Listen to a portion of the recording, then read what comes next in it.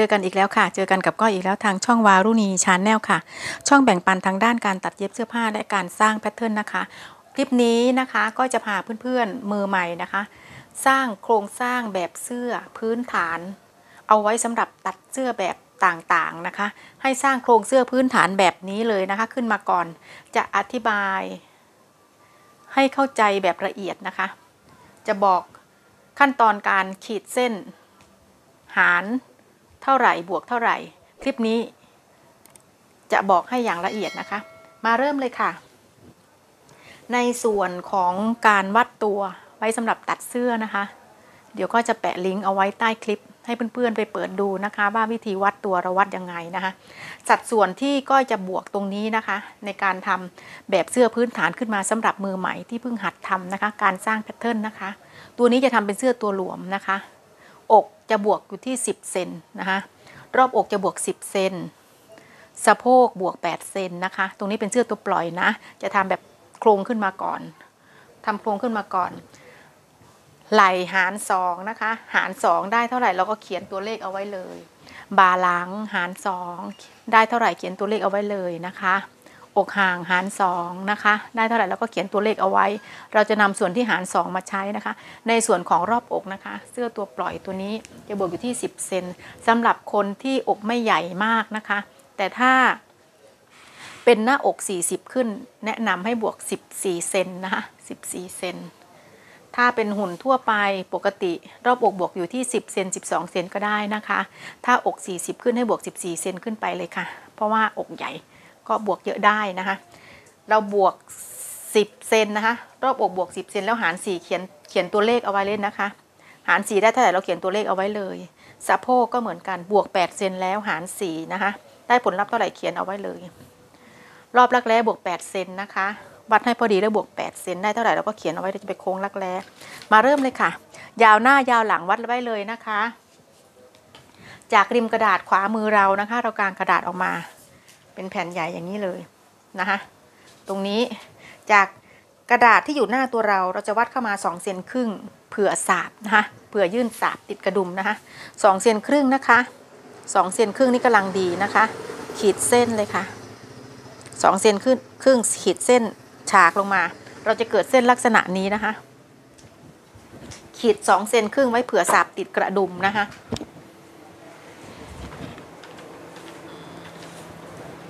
ต่อมาเราจะตีกรอบเสื้อก่อน การตีกรอบเสื้อเราจะใช้สัดส่วนของสะโพกนะคะ เราจะใช้สัดส่วนของสะโพกที่เราบวกหลวมนะที่เราบวกหลวมแล้ว สะโพกบวก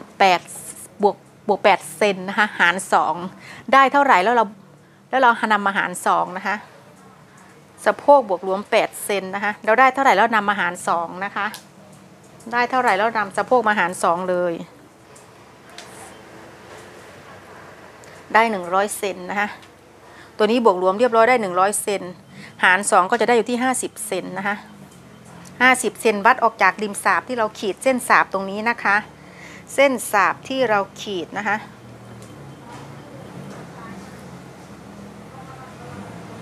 เส้นสาบที่เราขีด 50 เซนนะคะ เท่ากับสะโพกบวกรวมแล้วเรียบร้อยหาร 2 ค่ะ วัดจากสาบที่เราขีดเส้นดินสอเส้นใหม่นะคะ ตรงตรงตรงนี้เรียกเส้นกลางนะคะ เรียกเส้นกลางหน้านะคะห้าสิบเซนถึงไหนเราติ๊กนี่ค่ะ แบบนี้เราเรียกว่าตีกรอบเสื้อนะคะ ตีกรอบเสื้อ ขีดเส้นฉากตลอดแนวเลยนะคะนี่ค่ะ ตรงขึ้นไปถึงด้านบนนะคะเส้นนี้เราจะเรียกว่าเส้นกลางหลังนะคะ เราได้เส้นกลางหลังแล้วนะนี่ค่ะ เราจะตีกรอบเสื้อได้เส้นกลางหลัง ต่อมาค่ะ วัดจากริมกระดาษขวามือเราลงมานะคะมาตรฐานเลยนะ จากริมกระดาษขวามือเรามาตรฐานวัดลงมา 10 เซนนะคะจากริมกระดาษ 10 เซนขีดเส้นเชื่อมค่ะ ขีดเส้นเชื่อม เส้นนี้เราเรียกว่าเส้นคอนะคะ จากเส้นคอวัดลงมาเท่ากับยาวหน้าที่เราวัดได้นะคะ จากเส้นคอวัดลงมา เท่ากับยาวหน้าที่เราวัดได้ เราวัดยาวหน้าได้เท่าไหร่ขีดเส้นเลยค่ะ นี่ค่ะ จากเส้นคอวัดลงมาเท่ากับยาวหน้าที่เราวัดได้ขีดเส้นเชื่อม เส้นนี้เรียกว่าเส้นเอวนะคะ จากเส้นเอววัดลงมา 20 เซนมาตรฐานนะคะ อันนี้คือมาตรฐาน จากเส้นเอววัดลงมา 20 เซนมาตรฐานนะคะ 20 เซนมาตรฐาน 20 เซนแบ่งครึ่ง 10 เซนนะคะ 20 เซนแบ่งครึ่ง 10 เซนนี่ค่ะ ได้ 10 เซนเนาะ จากเส้นเอวลงมา 20 เซนมาตรฐานนะคะ20 เซนแบ่งครึ่ง 10 เซนขีดเส้นนะคะเส้นด้านบนเส้นนี้เราเรียกว่าเส้นสะโพกบน หรือเส้นหน้าท้องนะคะ เส้นด้านล่าง 20 เซนขีดเส้นเชื่อม เราจะได้เส้นสะโพกล่างนะคะเส้นนี้คือเส้นสะโพก เส้นนี้จากที่เราแบ่งครึ่งของ 20 เซนจะเป็นเส้นสะโพกเล็กนะคะต่อมาเส้นเอวกับเส้นคอนะคะจากเส้นเอวและเส้นคอ เราแบ่งครึ่งนะคะ จากจุดนี้มาจุดนี้เราแบ่งครึ่งเลยค่ะ แบ่งครึ่งแล้วติ๊กเอาไว้ เส้นเอวและเส้นคอแบ่งครึ่งเราติ๊กเอาไว้ ขีดเส้นเชื่อมเลยค่ะ ขีดเส้นเชื่อม เส้นนี้เรียกว่าเส้น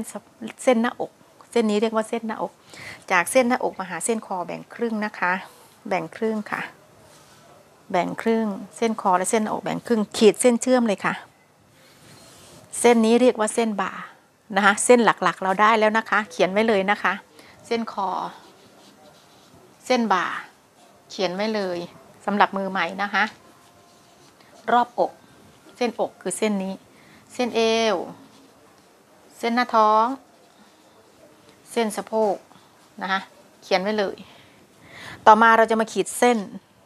เราจะมาขีดเส้นของหน้าอก ในสัดส่วนที่เราจะบวกจะลบนะคะ ในกรณีที่เราจะทำเสื้อแผ่นหน้า ใหญ่กว่าชิ้นหลังนะคะเราใช้ส่วนที่เราหารแล้วเรียบร้อย รอบอกสัดส่วนที่เราบวกรวมแล้วเรียบร้อยนะคะแต่ตัวนี้ก็จะทำหน้าหลังเท่ากันนะคะทำหน้าหลังเท่ากัน รอบอกบวก 10 หาร 4 ได้ผลลัพธ์เท่าไหร่ วัดออกจากเส้นกลางหน้าเส้นดินสอ เส้นสาบตรงเส้นนี้นะคะเท่ากับรอบอกที่เราหาร 4 แล้วเรียบร้อยนะคะติ๊กเอาไว้นะคะติ๊กเอาไว้ ชิ้นหลังก็เช่นกันนะคะรอบอกบวก 10 หาร 4 ได้ผลลัพธ์เท่าไหร่วัดออกมา ติ๊กเอาไว้ ในส่วนของเส้นสะโพกก็เช่นกันนะคะในส่วนของเส้นสะโพกเราตีกรอบเสื้อตั้งแต่แรกคือการหาร 2 เส้นสะโพกเขาจะพอดีโดยอัตโนมัตินะคะเส้นสะโพกเขาจะพอดีโดยอัตโนมัตินะคะสะโพกบวก 8 เซนหาร 4 วัดจากริมกระดาษ ตรงกลางนะคะเส้นกลางเข้ามานะคะตัวติ๊กเอาไว้ด้านหลัง เขาก็จะพอดีอัตโนมัติ เพราะว่าเราตีกรอบคือการหาร 2 ตั้งแต่แรกคือการนำสะโพกมาบวก 8 แล้วหาร 2 แล้วตีกรอบจากเส้นกลางหน้ามา แล้วตีเส้นฉากขึ้นด้านบนเป็นเส้นกลางหลัง ตรงนี้ตรงสะโพกเขาจะพอดีอัตโนมัตินะคะ อันนี้ขีดเส้นนะคะ จากเส้นหน้าอกลงไปหาเส้นสะโพก เราจะเกิดเส้นลักษณะนี้ เดี๋ยวจะอธิบายอีกครั้งหนึ่งนะคะ ในกรณีที่ลูกค้าที่หน้าอกใหญ่ๆอกใหญ่หน่อย เราจะทำ แผ่นหน้าใหญ่กว่าชิ้นหลัง หน้าน่าจะใหญ่กว่าชิ้นหลัง คือการที่เรานำผลลัพธ์ที่เราหารแล้วเรียบร้อยนะคะบวกรวมแล้วเรียบร้อยแล้วหารหารออกมานำผลลัพธ์ที่เราออกมาเนี่ยชิ้นหน้าเราก็บวกหนึ่งเซนไม่ว่าจะเป็นอกเอวสะโพกชิ้นหน้าเราได้ผลลัพธ์เท่าไหร่แล้วก็ติ๊กเอาไว้แล้วบวกเพิ่มออกมาเป็น1เซนถูกต้องไหมคะถูกต้องไหมคะบวกเพิ่มออกมา1เซนชิ้นสะโพกเหมือนกันติ๊กเอาไว้แล้วบวกเพิ่มจากของเก่ามาอีก1เซนนะคะ รอบอก หาร 4 แล้วบวกได้ผลลัพธ์เท่าไหร่ขีดออกมาแล้วบวกเพิ่ม ในกรณีที่เราจะใช้แบบหน้าชิ้นหน้าใหญ่กว่าชิ้นหลัง ต่อมาชิ้นหลังเราจะต้องลบนะคะ ผลลัพธ์ที่เราหาร4ได้เท่าไหร่เราวัดเราติ๊กเอาไว้ ติ๊กเอาไว้แล้วก็ต้องถอยคือลบนะคะเราลบออกไปเราลบหนึ่งเซนเพราะด้านหน้าเราบวกแล้วถูกต้องไหมคะเส้นอกเส้นเส้นเอวเส้นหน้าท้องเส้นสะโพกทำเหมือนกันนะคะเราจะได้ชิ้นหน้าใหญ่กว่าชิ้นหลัง ต่อไปนะคะไปต่อเลยนะคะอันนี้ก็อธิบายให้ฟังคร่าวๆ ในส่วนของเส้นหลักๆเราได้แล้วนะ ต่อมาเราจะหาเส้นบ่า เราจะหาเส้นบ่านะคะบ่าหลังเราบ่าหน้าเราหารสองนะคะบ่าหน้าเราหารสองได้ผลลัพธ์เท่าไหร่วัดออกจากริมกระดาษคือเส้นบ่าตรงนี้นะคะ บ่าหน้าเราหารสองวัดออกมาเลยค่ะ จากเส้นกลางหน้านะคะ ติ๊กเอาไว้ นะคะติ๊กเอาไว้ เราจะมาหากรอบคอ กรอบคอได้มาจากส่วนไหน ตรงนี้จะใช้มาตรฐานคือรอบคอ 36 เซนรอบคอ 36 เซนนี่คือมาตรฐานนะคะนำ36 หาร 6 นะคะ 36 หาร 6 ได้เท่าไหร่ อันนี้คือมาตรฐานเลยนะคะ เดี๋ยวก็จะบอกให้มาจากไหน คอสูงมาจากไหน แนวนอนคอมาจากไหน มาจากเพื่อนๆ บางท่านที่ทำเสร็จเขาบอกว่า วัดจากคอแนวนอนออกไป6เซนครึ่งคอสูง7เซนนี่คือก็คือมาตรฐาน มาตรฐานก็คือรอบคอ 36 นี่คือรอบคอมาตรฐานนะคะสามนำ36 มาหาร 6 นะคะ หาร 6 ได้อยู่ที่ 6 เซนทีนี้คอสูง เราได้ 6 เซนถูกต้องไหมคะ คอสูงเราจะนำ6เซนบวก 1 เซนคือได้ 7 นี่แหละก็คือมาตรฐานตรงนี้ก็คือ 7 เซน 7 เซนที่บวก 1 เซนก็คือ 36 หาร 6 ได้ 6นำ6มาบวก 1 เซนจะได้ 7 เซนคือเส้นคอสูงนะคะ ด้านหน้าคือเส้นคอสูง 7 เซนขีดเส้นนะคะ ทีนี้แนวนอนของคอ เราได้มาจากไหน เราได้มาจากไหน แนวนอนรอบคอ 36 36 หาร 6 ได้ 6 เซนถูกต้องไหมคะ แล้วนำ6เซนมาบวก 0.5 คือบวกครึ่งเซนนะคะ ก็จะได้ 6.5 ก็คือจากจุดเส้นกลางหน้า วัดออกมาคือ 6.5 นี่ค่ะ ได้เป็นเส้นกรอบคอคือมาตรฐานนะคะ อันนี้คือใช้แบบมาตรฐาน อันนี้กรอบคอ อันนี้อธิบายให้ให้ละเอียดเลยนะ ถ้าในส่วนของลูกค้าบางคนตัวเล็กเนาะผอม เราก็ไม่ต้องใช้รอบคอมาตรฐานก็ได้ ถ้าหุ่นปกติทั่วไปคนเราเราหรือว่าช่างเพื่อนๆ ทุก ๆ คนที่ทำส่วนมากจะใช้รอบคอมาตรฐานก็คือคอสูง 7 เซนแนวนอนคอ 6 เซนครึ่งคือมาตรฐานคือใช้ได้เลย แต่ถ้าในกรณีที่ลูกค้าตัวเล็กผอม เราจะต้องวัดรอบคอเขาจะอยู่ที่บางทีบางท่านก็จะ 34 เซนถูกต้องไหมคะ 34 หรือ 32 ก็ว่ากันไป สมมุติว่ารอบคอ 34 เซนที่เราวัดมาคือลูกค้าตัวเล็กผิดปกติเนาะ เราใช้มาตรฐานไม่ได้เราจะต้องวัดรอบคอของเข้ามา สมมติว่ารอบคอ 34นำ34 มาหาร 6 ถูกต้องไหมคะ ได้ 5.6 5.6 ที่นี่แนวสูงของคอเราจะนำ5.6 มาบวก 1 เซนนะคะบวก 1 เซนก็ได้ 6.6 ก็คือ จากเส้นนี้มาคือ 6.6 ของลูกค้าที่ตัวผอมๆ 6.6 นะคะ จะประมาณนี้จิตหนึ่งนะคะ 6.6 เราก็จะใช้เส้นนี้ในกรณีที่เรานำคอมาหาร ถ้าเป็นแนวนอนแนวนอนของคอ 34 หาร 6 ได้ 5.6 บวก 0.5 ก็จะได้ 6.1 จากจุดเส้นกลางหน้าออกไปก็คือ 6.1 นะคะ 6.1 เขาก็จะนิด ๆ หน่อย ๆนะคะอันนี้ในกรณีในการหาคอนะคะคอสูงแล้วก็แนวนอนของเส้นคอนะคะอันนี้คือใช้มาตรฐานนะ อันนี้ก็ใช้มาตรฐานไปต่อนะคะ เราจะมาหาเส้นไหล เส้นไหลเรามาจากไหน จากเส้นคอสูงนะจากจุดนี้มาจุดนี้เราแบ่งครึ่งเลยค่ะ วัดขึ้นมาเมื่อกี้7เซนถูกไหมคะ7เซนแบ่งครึ่ง3เซนครึ่งค่ะ แล้วขีดเส้นตรงนะคะ3เซนครึ่งนี่ขีดเลย เราจะได้เส้นไหล เส้นนี้เรียกว่าเส้นไหลนะคะ ต่อมาไหลนะคะ ไหลหารสองได้เท่าไหร่ วัดจากเส้นกลางนี่ค่ะ เส้นไหลนะคะ จากเส้นกลางหน้า เส้นนี้เรียกเส้นกลางหน้านะคะสาบไม่เกี่ยวนะคะ อย่าไปวัดตรงสาบนะ ต้องวัดตรงเส้นนี้นะ ในกรณีที่เป็นเสื้อติดกระดุมนะคะ จากกลางหน้าวัดเท่ากับเส้นไหลที่เราหารสองได้นะคะ วัดออกมาเลยหารสองได้เท่าไหร่ วัดออกมาเราติ๊กเอาไว้นะคะ ติ๊กเอาไว้ ให้ขีดจากเส้นคอสูงนะคะลงไป เราจะเกิดเส้นไหลแบบลักษณะนี้ จากเส้นคอสูงมาถึงเส้นไหลที่เราวัดเอาไว้วัดว่ากี่เซนนะคะจากจุดนี้มาจุดนี้วัดไปว่ากี่เซน13 เซนจดตัวเลขเอาไว้นะคะจดตัวเลขเอาไว้เราจะนำไปใช้ด้านหลังนะคะ13 13 เซนแบ่งครึ่งคือ 6.5 ติ๊กเอาไว้ เราทำสัญลักษณ์เอาไว้เป็นเส้นกลางไหลนะคะต่อมาในส่วนของอกหางนะคะอันนี้พอเราได้ไหลเสร็จให้ขีดเส้นบางๆหา เส้นบ่านะคะประมาณนี้ขีดคร่าวๆอกสูงอกห่างนะคะอกห่างเราหารสองให้วัดจากเส้นอกออกไปนะคะหารสองอกห่างเราหารสองได้เท่าไหร่เราวัดออกไปเลยค่ะ จากจุดนี้นะคะนี่ค่ะ ตีเส้นฉากลงไปนะคะตีเส้นฉากลงไป ทีนี้เราจะมาหาเส้นอกอกสูงให้วัดจากเส้นคอจุดนี้ วัดทะแยงลงไปนะคะ วัดทะแยงลงไปเท่ากับเส้น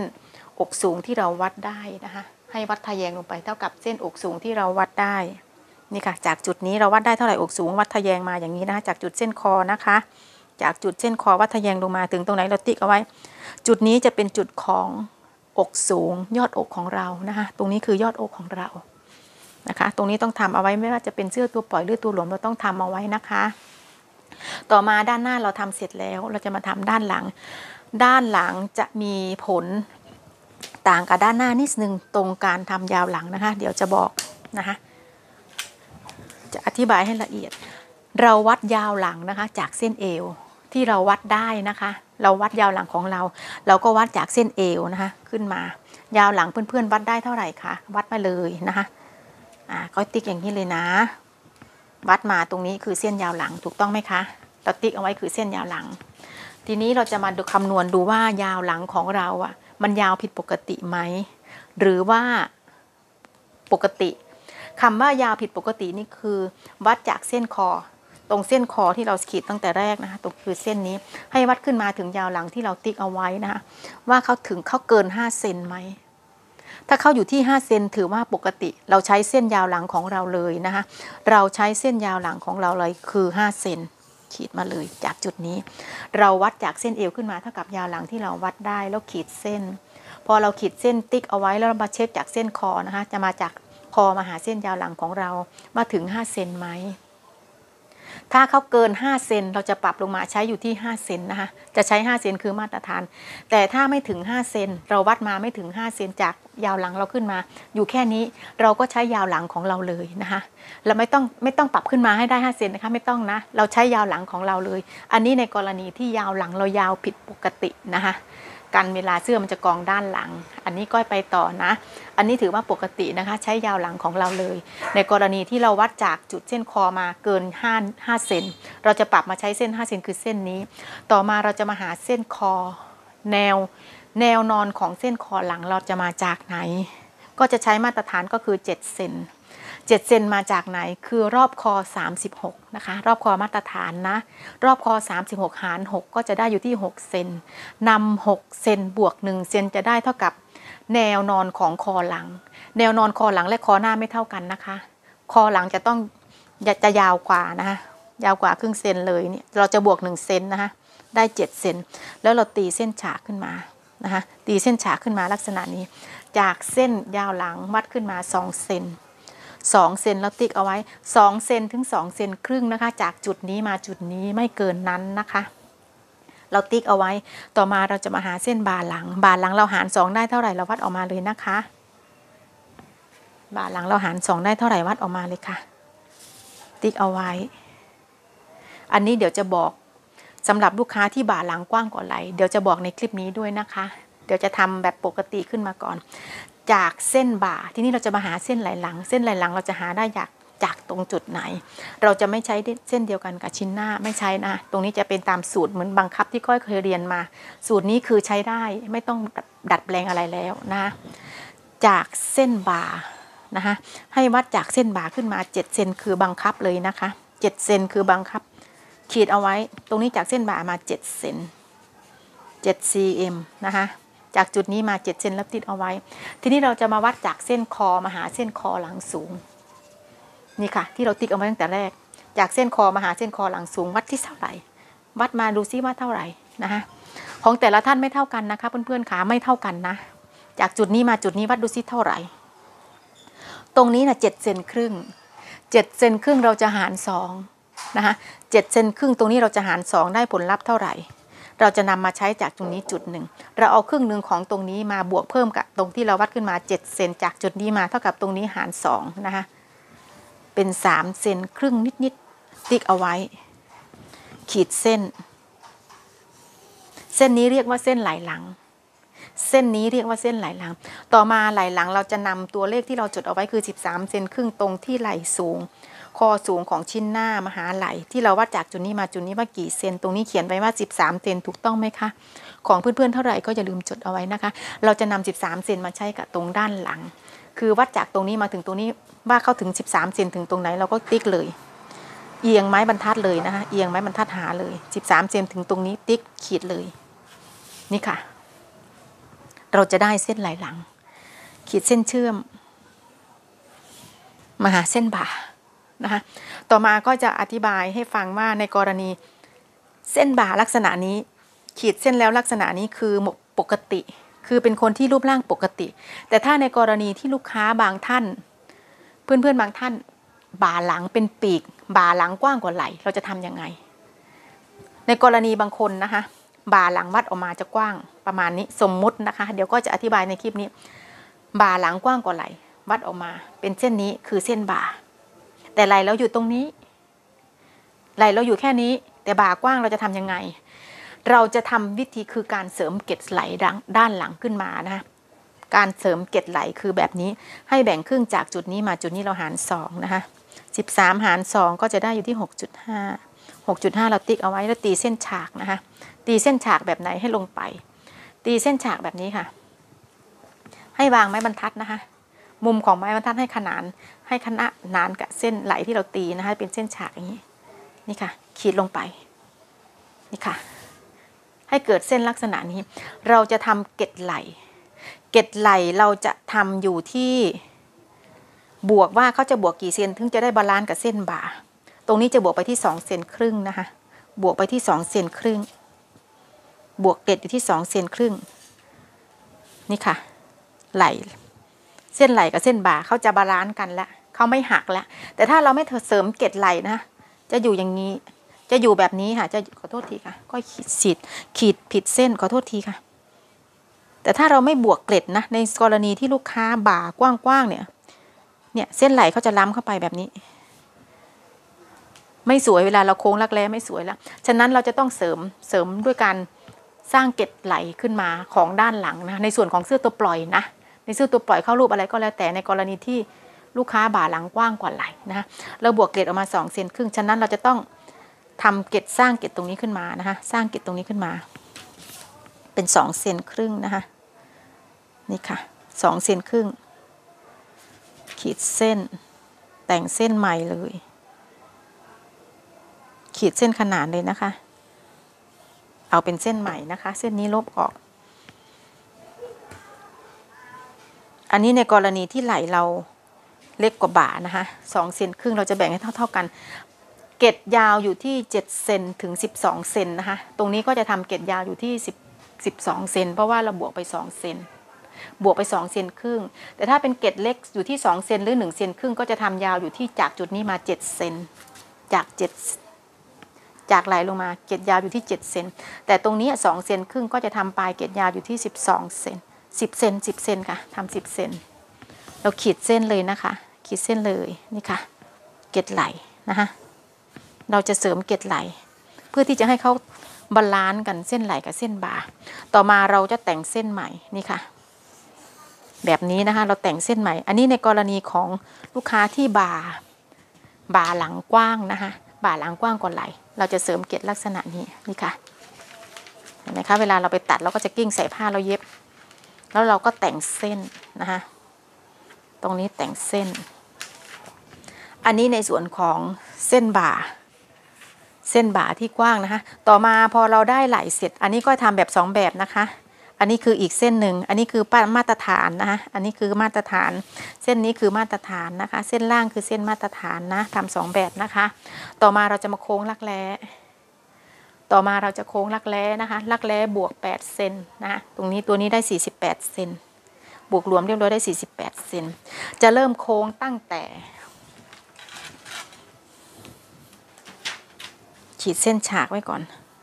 จะโค้งเส้นเบาๆ เกาเส้นบางๆก่อนนะคะ ยังไม่ต้องเน้นเพราะว่าจะมีการปรับขึ้นและปรับลงนะคะ เราจะมีการปรับขึ้นและปรับลง ตรงนี้ก็จะโค้งลักแร้ของเส้น ของบ่าปกติก่อนนะคะ ของเส้นบ่าปกติก่อน ค่อยจะโค้งเส้นบ่าที่บ่าหลังกว้าง โค้งทีหลังนะคะ ขออนุญาตนะคะเดี๋ยวจะอธิบายให้เข้าใจอย่างละเอียดเลย วางไม้บรรทัดนกแก้วนะคะ วางตรงเส้นอกเราเลยนะคะ จะโค้งเส้นบ่าปกติก่อนนะคะ จะโค้งเส้นบ่าปกติก่อนวางอย่างนี้เลยค่ะ ให้วางจุดไหลให้ผ่านเส้นบ่านะคะ นี่ค่ะ วางเขาให้พอดีสวยนะคะ นี่ค่ะ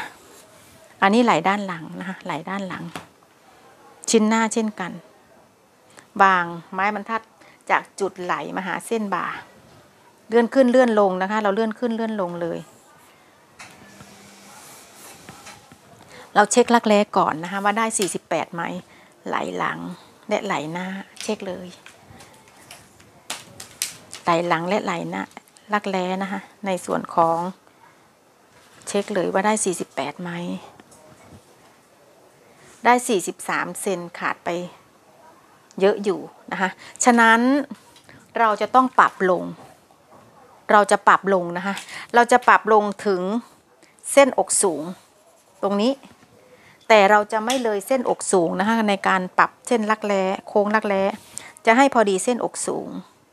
เต็มที่ได้แค่พอดีนะคะ อย่าให้เกินนั้นนะอย่าให้เกินเส้นอกสูงของเรานะคะ มันจะทำให้เวลาเราใส่เสื้อเข้าแขนอะรักแร้เราจะห้อย ให้อยู่ประมาณนี้เส้นอกสูงนะคะไม่ไม่งงนะ แต่ตรงนี้จะค่อยๆ ปรับลงมาทีละหน่อย ค่อยๆ ปรับลงมาแล้วเราโค้งเส้นรักแร้ใหม่เลยนะคะ โค้งเส้นรักแร้ใหม่เลย เส้นแรกเราไม่ได้ค่ะ เราโค้งใหม่เลยค่ะเพื่อนๆโค้งใหม่เลยค่ะนี่ค่ะวางให้ระนาบจากเส้นบาหน้าแล้วก็เส้นไหลวางให้ระนาบแล้วขีดเส้นโค้งเลยค่ะ โค้งแล้วเช็คเลยค่ะว่าได้ 48 เซนไหมของเพื่อนๆเท่าไหร่ก็คือเท่านั้นนะ อันนี้คือของก้อยนะ วัดเลยค่ะ ด้านหลังก่อน รวมด้านหน้า อันนี้ได้ 48 เซนนะคะ ใช้เส้นนี้เลยนะคะ เน้นเลยนะคะ เน้นเส้นไปเลย อันนี้ลบก่อนนะคะ ขออนุญาตลบก่อน มันจะเรียดูลายเส้นนะคะจะทำแบบละเอียดเลย เพื่อนๆมือใหม่จะได้ตัดใส่ได้นะคะ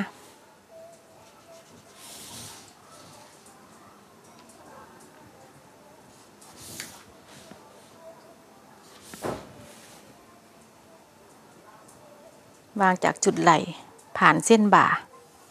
เน้นเลยค่ะ วางจากเส้นไหล ผ่านเส้นบ่านะคะ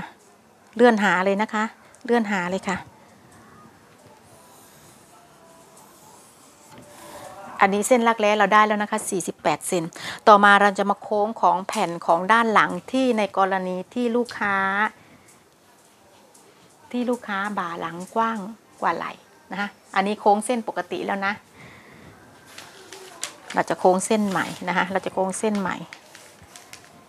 ในกรณีที่ลูกค้า บ่าหลังกว้างกว่าปกติวางจากเส้น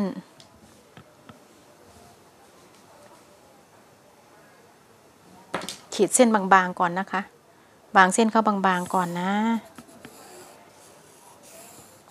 จริงๆแล้วอะตรงนี้อะน้อยไปด้วยซ้ำสามารถบวกออกมาถึง 3 เซนได้นะคะ สามารถบวกออกมาถึง 3 เซนได้นะคะ ของไหล่ เดี๋ยวก็จะบวก3เซนมันแลดูน้อยไป มันไม่ได้นะคะบวก3เซนไปเลย จะทำเกล็ด3เซนนะคะเดี๋ยวลบใหม่ ขออนุญาตลบนะคะ ขออนุญาตลบเขาไม่ balance กันเวลาเราโค้งรักแร้ไม่สวยไม่สวยค่ะ จะบวกเกล็ดไปที่3เซนวัดออกมาก่อนเลยค่ะ3เซนนี่ค่ะ เป็นเส้นนี้แทนนะคะ สามเซน เติมเกล็ดไปค่ะข้างละหนึ่งเซนครึ่ง ข้างละหนึ่งเซนครึ่งนะคะหนึ่งเซนครึ่ง ปลายเกล็ดยาวอยู่ที่สิบสามเซนนะคะ เพราะว่าเป็นสิบสองเซนค่ะ เพราะว่าเกล็ดใหญ่สามเซนแล้ว ปลายเกล็ดสิบสองเซนค่ะ ขีดเส้น เกล็ดนะคะจะทำใหญ่อยู่ที่1เซน1เซนขึ้นไปนะคะ ดูความเหมาะสมของบ่าและก็ไหล่นะคะ นี่ค่ะพับเลยพับเส้นใหม่เลยค่ะ ดูความเหมาะสมว่า balance กันไหมเวลาเราโค้งรักแร้จะได้ไม่มีปัญหานะคะนี่ค่ะ เราได้เส้นใหม่แล้วเนาะโค้งรักแร้เลยค่ะ อันนี้เราทำส่วนของชิ้นหลังนะคะ ส่วนของชิ้นหลังที่บ่าหลังกว้างนะคะ เราทำในส่วนของชิ้นหลังที่บ่าหลังกว้างกว่าไหล่นะคะไอชิ้นปกติเราได้แล้วนะคะ อันนี้สำหรับเพื่อนๆที่บ่าหลังกว้างกว่ากว่าไหล่นะ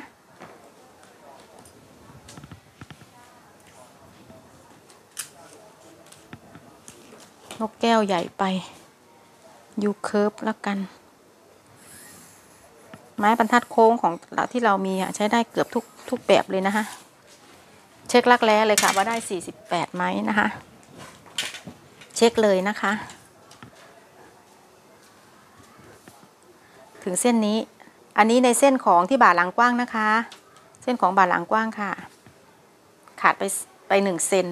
ขาดไปหนึ่งเซนไม่ได้ 48 ฉะนั้นเราจะปรับเส้นไหลของของบ่าหลังกว้างลงมา อันนี้ก็ทำสองแบบในคลิปนี้นะคะ ปรับลงมาค่ะ ปรับเอาเส้นนี้ จะทำเป็นสอง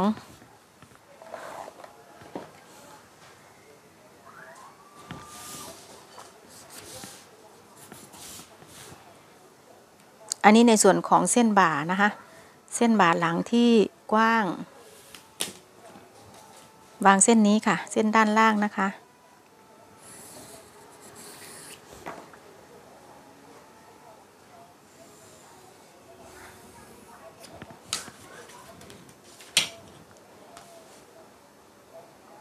ทุกอย่างเราแต่งได้นะคะ ทุกอย่างเราแต่งได้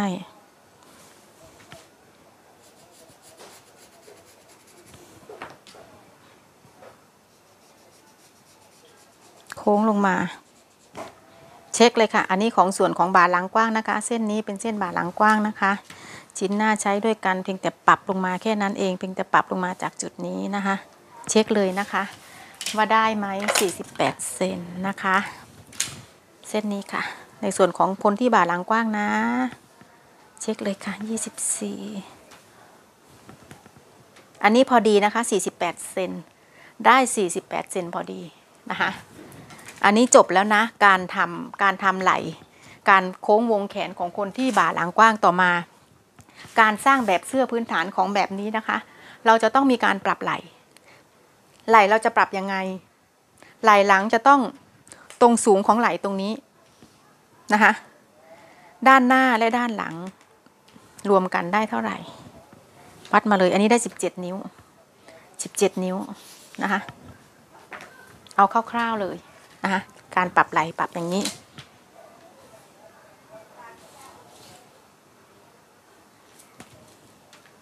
วัดขึ้นมานะคะจากเส้นที่เราโค้งรักแร้มาหาเส้นไหลที่เราขีดจุดนี้นะคะ แล้วก็วัดขึ้นมาได้ 17 นิ้ว 17 นิ้วเราจะแบ่งครึ่งนะคะ17 นิ้วเราจะแบ่งครึ่งนี่คือการปรับไหลนะคะ แบ่งครึ่งก็คือ6 6เซน6นิ้วครึ่ง8นิ้วครึ่งค่ะ ก้อยพูดผิด แบ่งครึ่งได้ 8 นิ้วครึ่ง แต่ละฝั่งเราแบ่งครึ่งได้ 8 นิ้วครึ่ง ฉะนั้นด้านหลังจะต้องสูง จะต้องสูงกว่าชิ้นหน้า จะต้องสูงกว่าลักแร้หลัง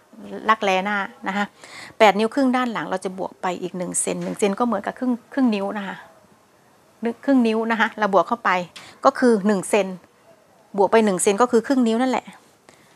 8นิ้วครึ่งบวก อีกครึ่งนิ้วก็คือ 9 9 นิ้วนะคะตรงนี้ เราจะปรับไหลขึ้นมา ปรับขึ้นมาเลยค่ะ ถ้าสร้างสูตรนี้ต้องปรับประมาณนี้อัตโนมัติเลยนะคะ ในส่วนของดด้านหน้านะคะแปดนิ้วครึ่งลบหนึ่งหนึ่งเซนก็คือลบครึ่งนิ้วก็จะเหลืออยู่ที่แปดนะคะประมาณนี้ ปรับลงมาเลยนะคะ การปรับไหลใช้วิธีปรับนี้แบบนี้เลยสร้างสูตรนี้ปรับไปเลยนะคะหนึ่งเซนปรับลงไปเลยค่ะหนึ่งเซนชิ้นนี้เราไม่เอา เส้นนี้เราไม่เอา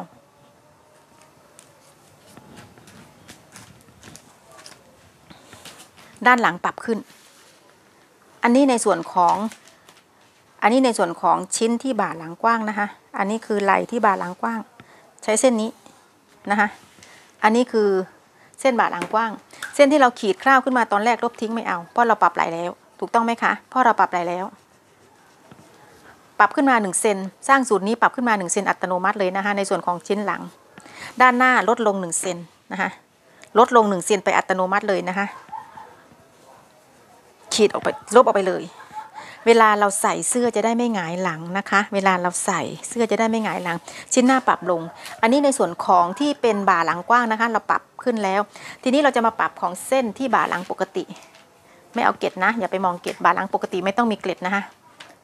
เราจะปรับขึ้นจากจุดนี้มา1เซนนี่ค่ะ1เซน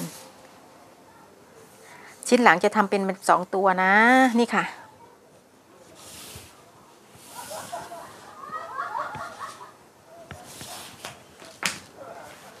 ตรงนี้ของชิ้นที่บาหลังกว้าง คือเส้นด้านบน บาหลังปกติใช้เส้นนี้แต่ไม่มีเกล็ด ตัวนี้เสร็จแล้วนะคะ พื้นฐานการสร้างแบบเสื้อทั่วไป แบบเสื้อตัวนี้นำไปสร้างเป็นเสื้อแบบต่างๆได้ทำไปทำปกทำแขนอะไรใส่ก็แล้วแต่นะคะโครงเสื้อพื้นฐานตรงนี้ตัดใส่ใช้ได้จริงนะคะ เสื้อไม่งายหลัง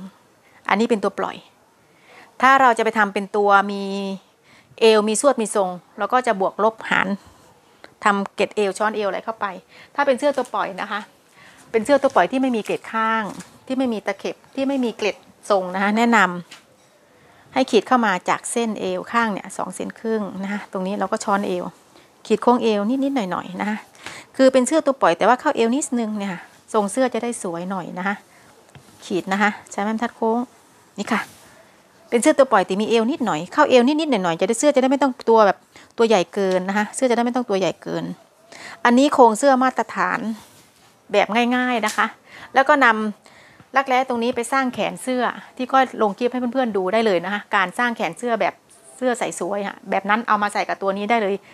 เข้าง่ายแล้วก็สวยด้วยนะคะแบบตรงนี้เสร็จแล้วนะคะเพื่อนขาการสร้างแพทเทิร์นเสื้อพื้นฐานสำหรับมือใหม่ ตัดใส่ใช้ได้จริงนะคะ เดี๋ยววิธีวัดตัวก็จะแปะลิงก์ไว้ใต้คลิปนะคะ คลิปนี้พอแค่นี้ก่อนนะคะ หวังว่าคลิปที่ก้อยทำคงจะเป็นประโยชน์กับเพื่อนๆมือใหม่นะคะ ไม่มากก็น้อย ดูแล้วก็อย่าลืมกดไลค์กดแชร์นะคะ เป็นวิทยาทานนะคะให้กับเพื่อนๆที่รักการตัดเย็บเสื้อผ้าแต่ไม่มีโอกาสไปเรียนที่โรงเรียนนะคะ เรียนใน YouTube ก็ได้ เรียนกับก้อยไม่ต้องเสียตังค์ค่ะ ดูไปนะคะดูกันเพลินๆขอบคุณนะคะที่รับชม เจอกันใหม่คลิปหน้าค่ะ สวัสดีค่ะ